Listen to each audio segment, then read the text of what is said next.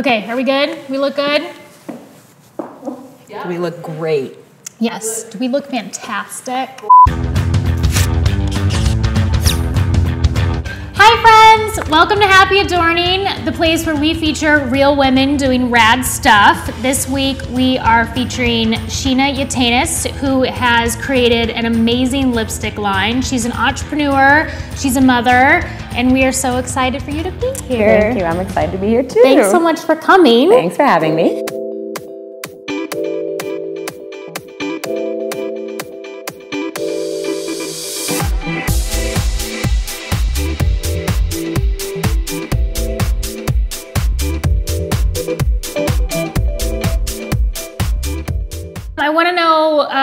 Why lipstick? Because color is my passion. Okay. So lipstick was like the perfect place for me to bring in both my backgrounds, which are in art and in science. It's like a crossroads between formulation and between like mixing paint.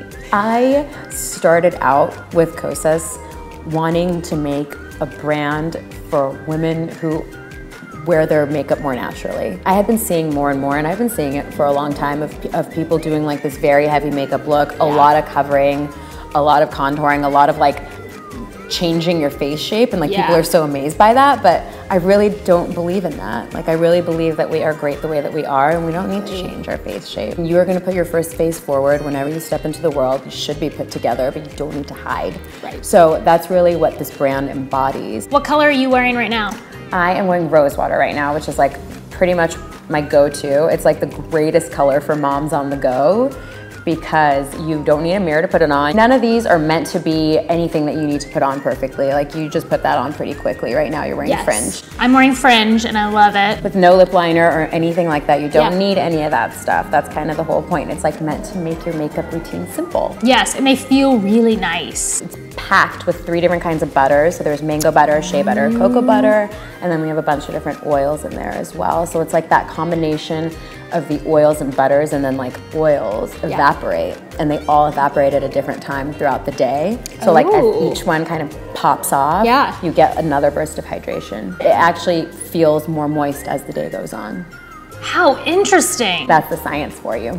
Ooh, science. And do you have a background in makeup? Uh, yes, actually. My growing up, my mom worked in the beauty industry. So Okay. she ever since before I was born. So like at my house, instead of toys, we had boxes and boxes and boxes of makeup. Come home from school, play outside, and then go play with the makeup. Nice. And it was extremely fun. So I would I would just be like experimenting. I knew like the names of every single lipstick and every brand that was out there by the time I was like eight years old. nice. So you said you had a background in art. What exactly does that entail? painting, mainly drawing, pencils, colored pencils, oil pastels, anything anything to do with color.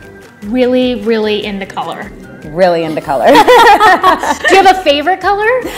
yes, yellow is my favorite color. Oh, actually. nice. Yeah. It's a really bright, nice color. It's a really bright. It's the color of optimism.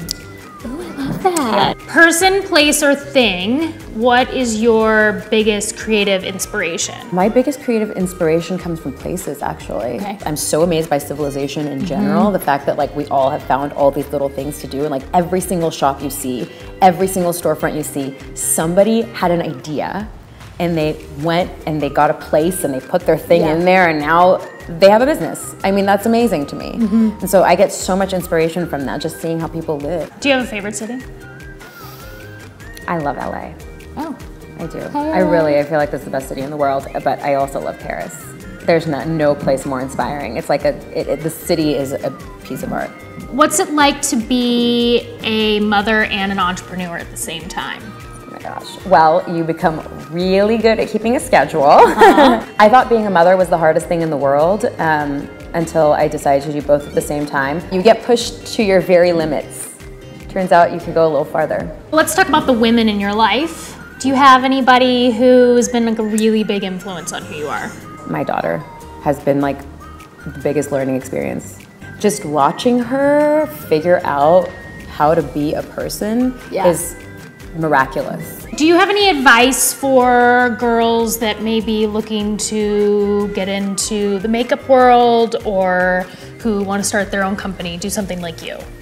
look at what you like to do on your free time. Look at what you are doing when someone's not telling you you have to do something and do that. Like keep doing that and then know that that's your talent. So believe in your talent and don't learn too much. Learn just enough so that you can be slightly ignorant when you're going in because that's when you're the most fearless. And just go for it. I mean, like, what's the worst that can happen? Also, do think about what's the worst that can happen. Imagine it.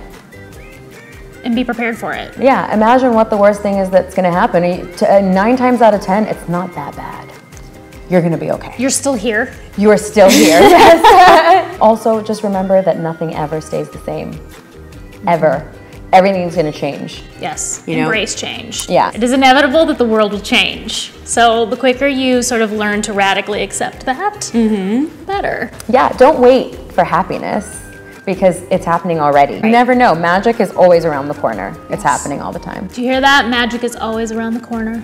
Any new projects in the future? Like what do you what what comes next? Right now it's January. Spring releases will be April, May. So I, I know that I need to start formulating that right now. Right. So we're gonna think about a couple new lip colors. You okay. know, we have a lot of everything is very fall winter right now. Mm-hmm. We're gonna kind of go into a little brighter, fun things for spring. And then next we'll start doing some cheek colors too. Ooh, that's exciting. I'm very excited. Woo! Thank you so much for being here. I really appreciate you coming and sitting with us and sharing this amazing lipstick. It's so great. You have to go get it. You can get it online on our website, which is kosascosmetics.com. K O S A S. We'll link it below too. All of our, our tags, all of our handles are Kosas Cosmetics. We're on Instagram, Twitter, and Facebook. Go follow them because it's awesome and you have to get this lipstick. It's a must. And please subscribe to our channel, Happy Adorning, and we'll see you soon. Thanks so much. Bye.